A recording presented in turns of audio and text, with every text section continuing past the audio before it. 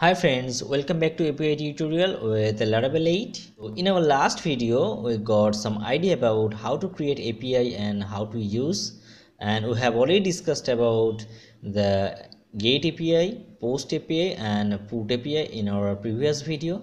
So today we will going to learn about Laravel delete API so basically delete api is used to delete any data from the database okay? So here is my laravel 8 application and i have already set up the environment. That is my database name is laravel api tutorial.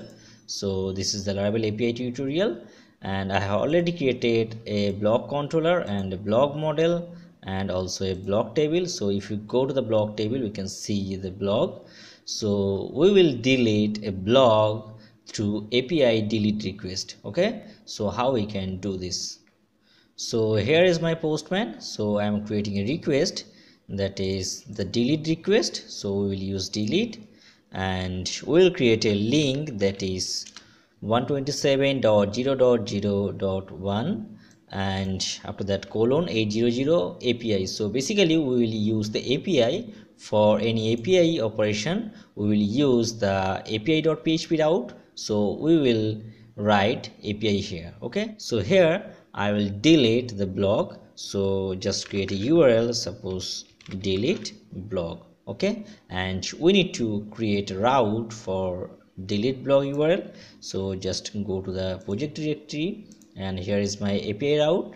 So create one route that is route delete okay? So basically this is the route delete blog and we need to call the controller. So i will use the blog controller colon colon class and to delete we will create a method that is delete blog okay? So we need to create a delete blog methods inside the blog controller. So just go to the blog controller. I will create a method that is public function delete blog okay? So here you can see the blogs table and there are five records and we will pass the id here. Suppose i want to delete the block number 13 so how we can delete this? Basically we will pass 13 here. To delete the 3 we will pass the 3 here okay? So I will pass some parameters and based on that parameter we'll delete okay? So we need to accept this parameter from the routes also. So go to routes and pass the parameter. So suppose I am passing the ID so we need to pass this ID into the controller also. So just write the ID and for blog tables we have the blog models. So when we use any database operation into the blog table we will always call the blog model.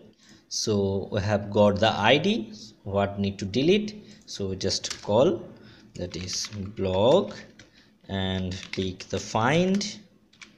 So i will find the id which i have passed from the postman and I am taking this into the block variable. So basically using this we will delete this. So just write the block and use the delete method okay? So basically it will find the exact block which I want to delete. And for this method and using the delete method will delete okay? So these things i will also storing into a variable that is result variable. So using this variable we will check whatever the block is successfully deleted or not. So we'll check if the result is true it will return that is block deleted successfully. So pass the json array. Here we'll write the result and we'll add block deleted and if not delete we will add the else condition. So block not deleted. Okay? So that's all. So now go to the postman. Suppose i want to delete a block which id is 12 so go to the postman.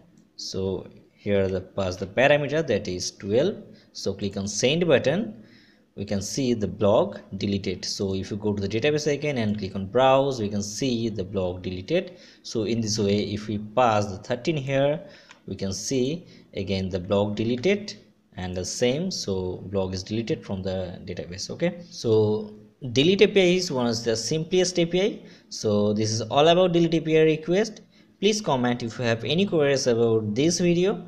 Next day i will going to show about uh, how to search a result through the api call. So please like and subscribe this channel for upcoming video. Thanks for watching this video. Bye bye